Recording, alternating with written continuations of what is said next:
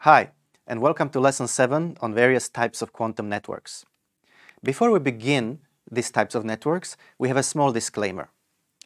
This lesson begins a block where um, we're going to be right at the leading edge of quantum network design. Many details will inevitably change as the work continues, but the main purpose is to present to you the various questions and the design principles, which are timeless. The specific examples that we use in these lessons are drawn from our own design work by the members of the Aqua Group, the QITF, and the Moonshot team, building the various testbed networks in Japan.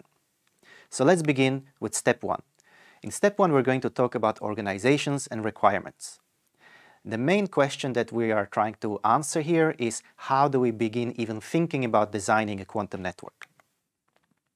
So, so far we have discussed networks and applications in the very abstract. With this lesson, we're going to get a little bit more concrete.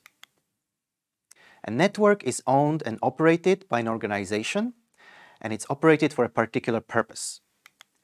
Given this purpose, it will determine the geographic distance between the nodes of the network, the number of nodes that are required, the expected traffic pattern, the performance of the network that we are expecting, various security concerns. Let's begin to talk about the various purposes of a network. One might be share of quantum mainframe within a building, across a campus, or even around the world. This is most likely going to be the case with early quantum networks, where big companies are going to own powerful quantum devices and others people will want to make use of these devices remotely.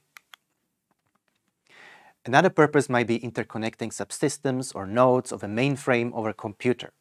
These type of networks are much smaller than the one mentioned in the previous point.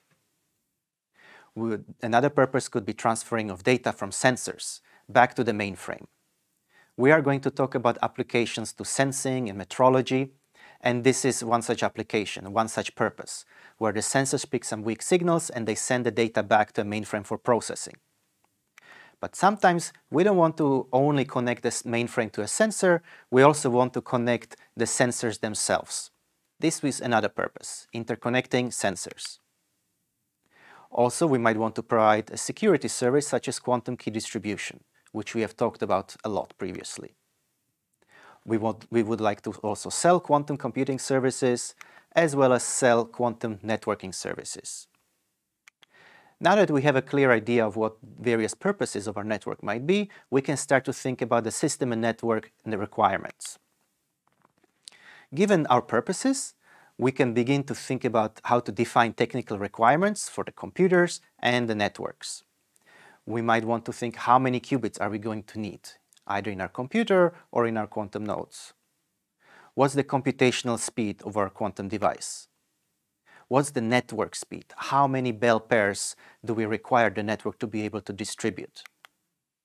What's the fidelity of these bell pairs? Remember, the application determines what the fidelity of the end-to-end -end bell pair should be.